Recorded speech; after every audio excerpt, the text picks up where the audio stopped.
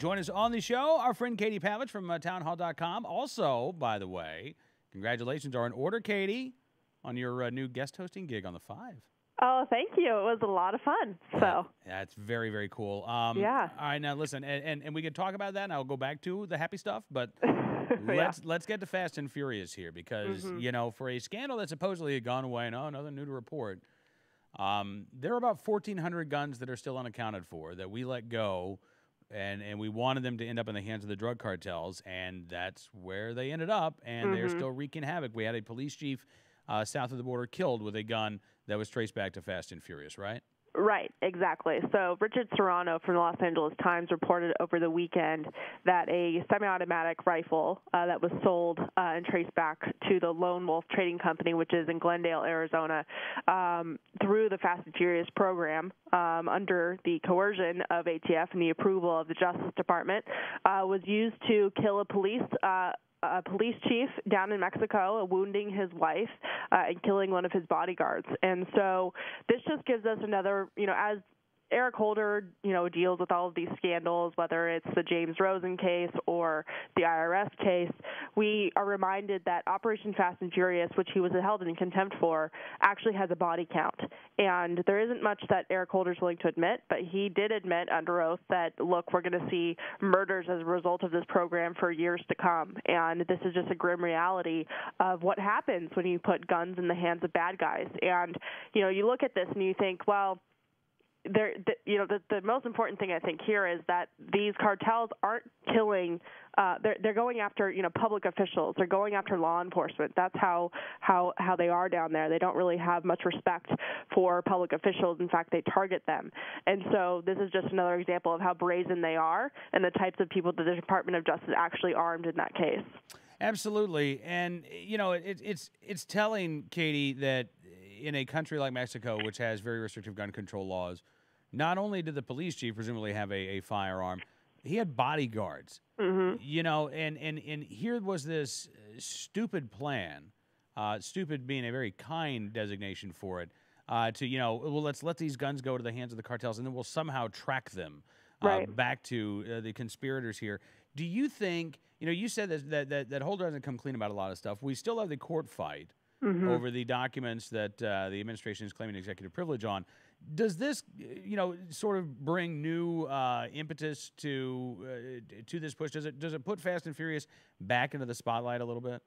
Well, I, I think so, and I think, and once again, you know, stressing the this fact that this scandal and this horrific uh, operation has a body count. I mean, Mhm. hundreds of people have been killed in Mexico as a result of this. And let's not forget that this situation with the, the Mexican police chief being killed, um, the shooters left the gun at the crime scene, right?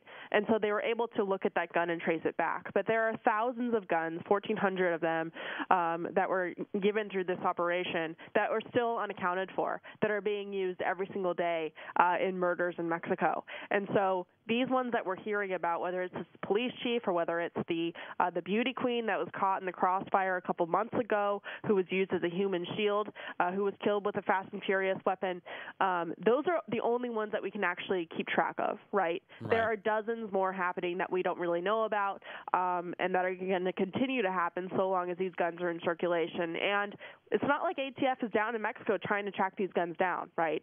Um, there's the idea that this is a tracking program is kind of a joke. They, they they admit that look, we only find and track these guns once they show up at crime scenes. So once again, these criminals have to leave their guns at the crime scene for us to know where they ended up.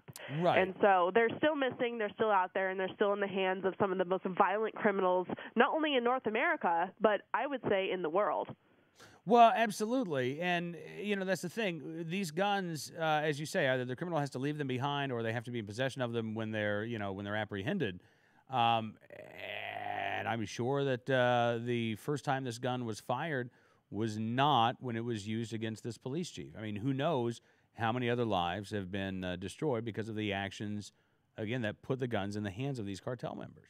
Exactly. And if you need a more clear picture of what happens when you give bad guys the guns they need to kill people, uh, this is it. And down in Mexico, they're killing public officials, they're killing teachers, uh, they're killing uh, police officers um, and police chiefs, as we saw over the weekend, and they have no qualms about it. And unfortunately, our Justice Department aided and abetted those cartels in their murders by allowing them to have these weapons that they trafficked into into the country.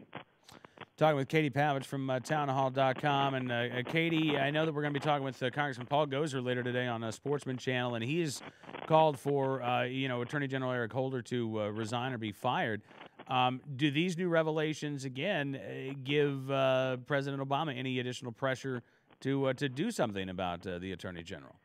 You know, it's it's it's one of those things I just can't quite figure out. You know, Eric Holder somehow has this immunity bubble around him when it comes to any responsibility for anything.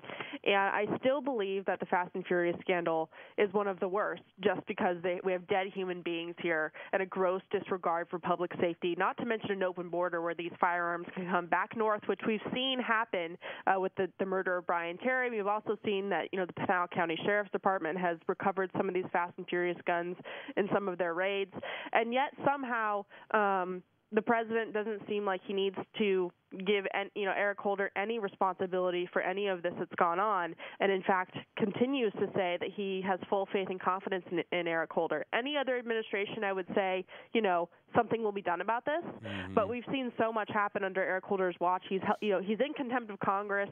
He says he doesn't respect the congressmen uh, and women like Paul Gosar who who held him, voted to hold him in contempt, both Democrats and Republicans.